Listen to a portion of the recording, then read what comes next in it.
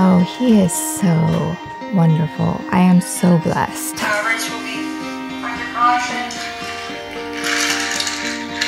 It seems like he, everyone he comes in contact to, they just enjoy him.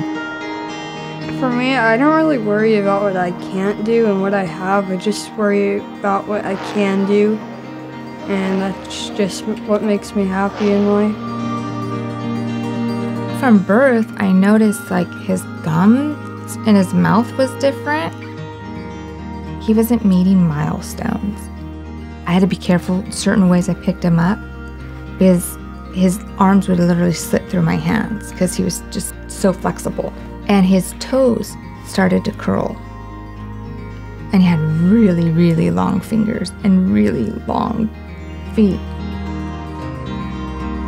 About four months is when they initially noticed his head not growing correctly.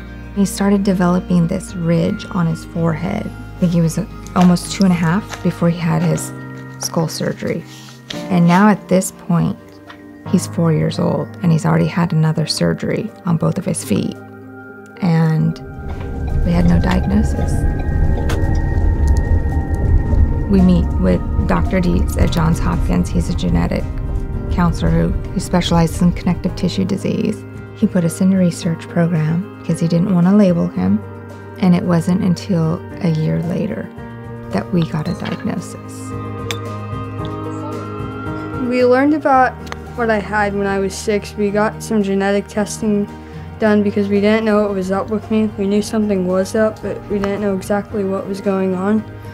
They found the genetic defect, and it was the SKI mutation at the first exon. So, the rare condition I have is called Shprintzen-Goldberg syndrome, and it's like three syndromes mixed together, and that's what I am Loeys Dietz, Marfan's, and Ehlers-Danlos.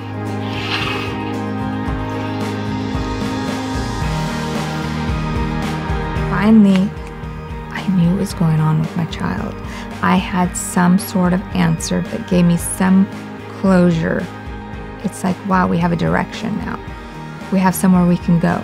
Unfortunately, it was very rare. There was like only uh, 20 cases worldwide. So I got online and there's nothing out there. And that's when I decided I built a web page and just started becoming the voice for this disease. Don't give up. Genetics is so evolving. And get put in the database. Get found out. They may come across you again and may have found what you have.